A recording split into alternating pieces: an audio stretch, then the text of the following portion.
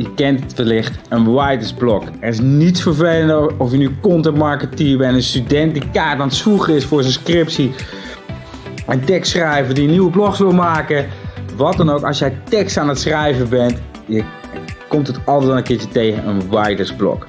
Wij moeten veel content schrijven en dan is er niets vervelends voor je productiviteit en ook je energie en uh, ja, je stemming wanneer je in een writer's block belandt.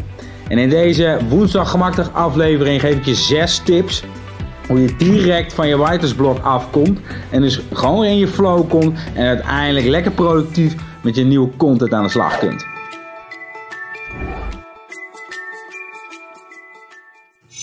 Oké, hoe kun je met je content marketing of welk stuk tekst je ook moet schrijven, hoe kom je in één klap van jouw writersblok af? Je writersblok, en dan duik ik een klein beetje in de psychologie, Iedereen heeft een soort van ja, kremlin achter in zijn hoofd. Dat je te streng bent of dat je iets niet kan. En dat stemmetje van oh, dat lukt toch niet. Dat stemmetje dat komt ook als allereerste bij een writersblok. Je bent eigenlijk te streng voor jezelf. Gun het jezelf dat je, desnoods schrijf je alleen maar rotzooi op papier, prima. La, gun het jezelf, pak ook direct, en dat is tip 2 die ik voor je heb, Gun jezelf vier minuten om gewoon alles op te schrijven. Ook al is het hartstikke slecht, redigeren doe je pas op het eind. Waar, je kunt niks corrigeren als er niks op papier staat. Dus je kunt alleen maar corrigeren zodra er ook iets op papier staat. En gun jezelf die tijd. Gun jezelf dat je niet altijd even creatief bent. En gun jezelf, ik ga gewoon nu de komende drie, vier, misschien vijf minuten ga ik gewoon schrijven. Probeer zoveel en zoveel mogelijk op te schrijven in die tijd. Streep niets door, alles schrijf je gewoon op. Zoveel mogelijk wat in jou opkomt, ga je opschrijven. Je zult zien dat wanneer je langer dan drie minuten dit doet, je weer terug in die flow gaat komen. Een andere tip die ik voor je heb, schrijf met pen. Het nadeel is van een toetsenbord, hoewel het dan direct al uitgeschreven is, tenminste digitaal, is dat je ook de backspace hebt. Je ziet het en je, oh, weer het zinnetje weghalen, weer het zinnetje. Schrijf alles met pen en papier. En zorg ervoor dat je niet streept of krast. We zijn nu nog aan het schrijven, redigeren, corrigeren, verbeteren. Dat doe je allemaal op het eind. Het kan best wel zijn dat je de hele indeling nog overhoop gaat halen. Maar zorg eerst dat je alles opschrijft. Je zult zien, zeker wanneer je dit doet bijvoorbeeld met verkooppagina's, dat je doordat je lekker aan het schrijven bent in een soort van flow komt. En ook al staan er zinnen op die je never nooit gaat gebruiken in je uiteindelijke tekst, prima. Maar je zorgt wel dat je alle input op papier hebt. Dus direct niet te streng. Ga niet elke keer jezelf naar beneden halen. Zorg gewoon dat je alles opschrijft en prima. Dan staat het maar eventjes niet goed op papier. Komt later wel. Vervolgens gun jezelf minimaal 3, 4, 5 minuten om gewoon alles op te schrijven. Zet een timer neer en schrijf alles op wat in je opkomt op dat onderwerp. Ga, schrijf met pen en papier. Zorg dat je dus niet gaat strepen. Vervolgens corrigeer niet. Niks strepen, niks weghalen.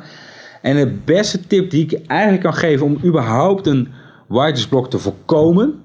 Geloof me, als je direct niet te streng bent en je jezelf wat tijd gunt, ga je weer in de flow komen. Maar om überhaupt die writersblok te voorkomen, raad ik je aan om een format te gebruiken. Of je dat nu doet voor een scriptie, een boek of een nieuwe blog die je aan het schrijven bent, een sales page. Denk eerst na, wat wordt de titel of het hoofdthema? Vervolgens bepaal je onderwerpen. Door eigenlijk, te zien bovenop de titel, hier onderwerp, onderwerp, onderwerp, onderwerp, heb je direct een soort van kopjesstructuur. En ga je dus alleen maar alles over die kopjes schrijven. Dus hoef je nog niet het hele artikel te schrijven. De hele indeling kun je nog later allemaal veranderen. Maar je gaat in, eerst aandacht schenken aan de inhoud. Hoe wij artikelen schrijven, zeker wanneer we dat doen voor content marketing of verkooppagina's. We geven eerst onszelf een half uur de tijd om zoveel mogelijk input te verzamelen. Hoe je dat snel en slim doet, geef ik je straks in een volgende tip mee. Vervolgens bepaal ik wat de intentie en de relevantie is. Dus wanneer is dit artikel ja, wordt het echt als waardevol gezien. Dus wanneer haal ik er echt alles uit? Wat moet er qua inhoud staan? Dus hebben het nog helemaal niet over hoe het geschreven is, maar wat moet er in, ja, als onderwerp of wat, wat voor tips wil ik in het artikel gaan verwerken? Dat schrijf ik op. Dus een bepaald soort van, nou oké, hier heb ik een titel, een stukje inleiding moet er uiteindelijk komen. En ik heb hier tip 1, tip 2, tip 3, tip 4. Daar heb ik alle input al voor verzameld, dus dat zit al enigszins in mijn hoofd. En vervolgens ga ik per kopje alles opschrijven. Pak me 4, 5 minuten als je merkt van shit, eh, ja, het loopt niet lekker. Hop, kopje 4, 5 minuten. Kopje 2, 4, 5 minuten. En ook al schrijf je maar wat kreten op. Het gaat erom dat je weer zo snel mogelijk in je flow komt. Je bent te streng op jezelf. Je bent jezelf naar beneden aan het halen. En je wil gewoon weer lekker in die flow komen. Als je op een gegeven moment in die flow zit, geniet daar dan ook van en schrijf continu vooruit. Ik heb wel eens van die dagen, dan schud ik al, elke blogje zo uit mijn mouw. Dan kan ik in één uur soms wel drie, vier, vijf blogjes schrijven. Het is dan nog niet perfect. Het moet allemaal geredigeerd worden en aangevuld worden. Maar ik ben dan zo creatief dat je eigenlijk in een soort van flow zit. Geniet daarvan, profiteer daarvan. Want mochten deze tips toch niet voor je werken, laat het ook even weten in de reacties. Dan is het wel prettig dat je in ieder geval al ja, geprofiteerd hebt van andere momenten waarin je dus niet in een writersblok zat. En pak je gewoon al een stuk content uit de kast die je op een eerder moment hebt geschreven. Kom je in een writersblok niet door hetgeen wat je schrijft, maar juist, ja, wat, waar moet ik over schrijven? Dus dat je vastloopt in je creativiteit. Ja, shit, ik, ik vind het lastig om juist je onderwerpen te bepalen.